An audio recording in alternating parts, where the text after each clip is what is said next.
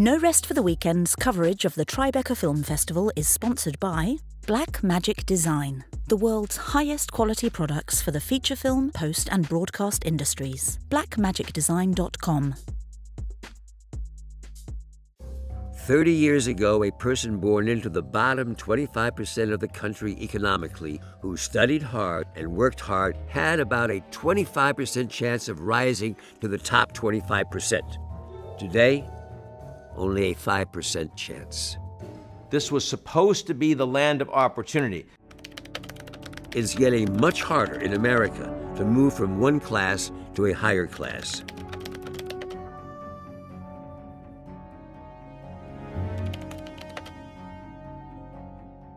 Why would these young people have any great affection for American capitalism? They watched American capitalism literally destroy the economy in 2008. They watched their parents go through literal hell. They've watched college become beyond expensive. They've watched the healthcare system become beyond expensive. They've looked at the job market. They've looked at wage growth. And, like, what the shit is this producing for me? I'm here with David Smick, the director of America's Burning. David, uh, you've arrived at Tribeca. How does this feel, my friend? It feels fantastic. Uh, Tribeca has been terrific, and they've been a huge help and boost to our film. For those who haven't seen it or don't know about it, can you kind of uh, give me a little explanation of America's Burning? Well, I began sitting around thinking about the divide and the hatred that's separating us in this country, and uh, and talk of a civil war even. And I began to say, you know, what are the reasons for this? And the one reason I never heard was economic, the collapse of the middle class and the death of the American dream. And I said, let's, I think I'm going to explore that in the film. It's probably been, I don't know, 20, 30 years ago now that uh, George Carlin said that they call it the American dream because you'd have to be asleep to believe it.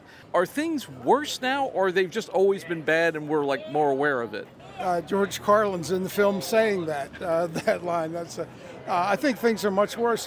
One thing I like about the economics is the numbers. The numbers don't lie. And when you look at the numbers, the American middle class has taken on the chin. I mean, there's a velvet, velvet rope society of brains and money that most of us are part of who are involved in this that have separated ourselves from the working class and the middle class. And, and that's, you can't have a democracy like that. You can't have a democracy where people feel isolated and forgotten. You've got a bunch of uh, big minds in this film. Talked about the subjects and how you were able to get them. Uh, my my background is in finance. I've worked in the financial industry, and I just in the last five years have gotten into filmmaking as a second career. So I have a very strong Rolodex. A lot of it is trust. If you say, I want to inter, you know, interview a former Secretary of State or Secretary of the Treasury, they have to trust you, and in this case, um, they do. That you're going to seek the truth, but not, uh, you know, not produce an interview that reflects just on you. So I've seen some bits of the film. Doesn't seem like a lot of sunshine and rainbows. I got to say. Is there is there hope to be had? Yeah, the film talks about realistically about the dangers that the country is facing, but a huge part of the film talks about America's brilliant and successful history of resilience. We've come back after a lot of stupidity and embarrassments. I mean, this is this this whole thing is an experiment, this American experiment, and we've made mistakes, but. Um, you know, we are unique in the world. We're unique in history. We've never seen anything like this. And so I'm an optimist. I think that, that if we come to terms with making sure that no one is left behind, I think we can uh, we can survive as a democracy can survive. Does the film have any plans on how we're exactly supposed to do all that? Yeah, it's very easy to, to go and say let's uh, let's attack the capitalists. They're terrible, and all the rest, and we're going to we're going to run them out of town. Well, the capitalists have the money. They have the lobbyists. They're not going to do that.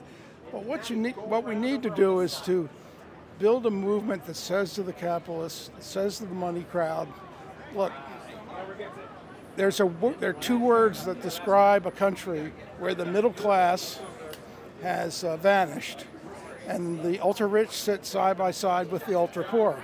And those two words, banana republic. Banana republics are not good places to do business. So I think you have to appeal to their to their greed to say, look, You've got to have a middle class, and it's got to be a strong and thriving middle class that believes that their kids, if they work hard, have the opportunity to do better than they do. That's the American dream, and that's what's missing now. If you want to know, as the film shows, if you want to know where a kid's going to be in 40 years financially, look at the wealth of the parents.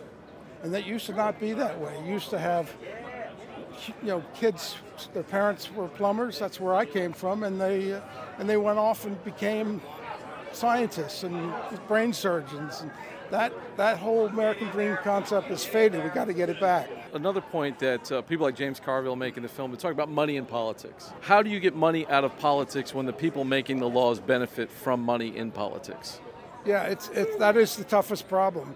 On the other hand, if we had a movement and people began to realize that the lobbyists are writing the laws, and there's, some, there's, there's a reason that we don't have as efficient and productive economy today as we had 30 and 40 years ago, is that Washington's run by corporate, ruthless corporate elites.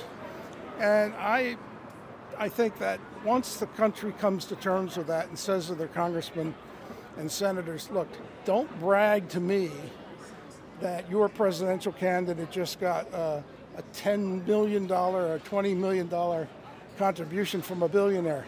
That will come with strings. Tell me you got, you know, a zillion $40 contributions and then I'll be I'll be impressed. So we got to change the culture, and that's that's that's basically what Carville was talking about. I think it's really hard for anything to affect change right now, especially a movie. Uh, do you guys have locked distribution? Do you feel like this will reach people? Do you think it will change things? Yeah, I think um, the distribution is going to come in theaters. It's uh, I think if we go to a streaming service right now, they'll run it for a week, and they'll put it on, uh, you know, the pile with other documentaries because documentaries aren't big money makers, and the streaming industry is is under severe financial pressure. So I think right now for this film, what it needs to do is to get into theaters, into communities where it's talked about, and then go to the theatrical route. So we are in July, the film goes to the Angelika Theater chain, and then it will expand beyond that. And for people who want to know more about the film, where can they find it online? Just go online, America, americasburning.com, and it's uh, it is a. Um, but this is this is not just a film; it's a movement and it's you know that, that people believe in. I, I, I can't tell you how many, a lot of famous people have come to me and said, "You need me? I'll be public. I'll praise this project. You know, we got to bring back the middle class. It's it's really a save the middle class movement that that we're talking about." This is the BTRP Media Network.